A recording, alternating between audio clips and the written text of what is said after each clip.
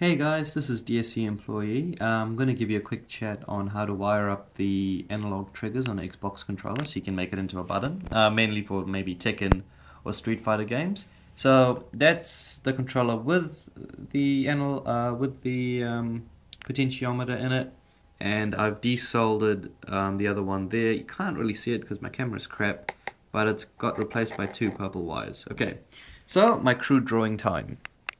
So first things first is that's the potentiometer there. Uh, that little circle is the knob, and when you pull the trigger, you actually turn it left or right, increasing or decreasing the uh, resistance. Now, when you desolder it, you're going to get three holes. You don't have to worry about the top one, just the middle and the one to ground.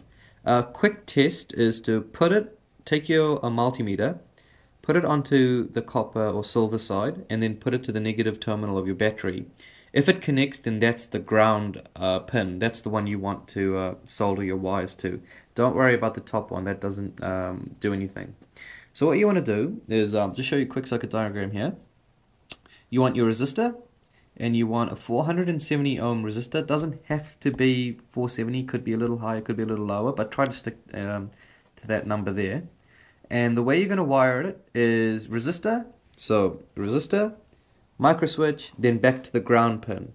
Now the micro switch has to be normally closed.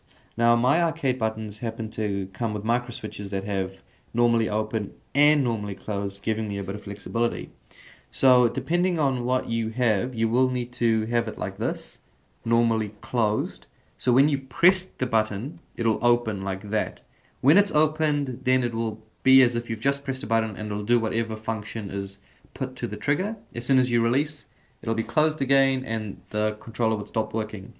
If you don't do this, you will find that the remaining buttons, like your right and left bumper and a few of the X and Ys, won't actually work because the controller thinks the left trigger is being held or the right trigger is being held permanently. So, as I said, you need to have it normally closed. Um, there is another way of going about it if you don't actually have a micro switch that allows you to do that.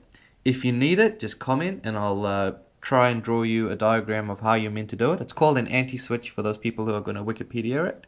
Um, otherwise, I can give you a quick uh, explanation of how that works. Okay then, till next time, catch you later.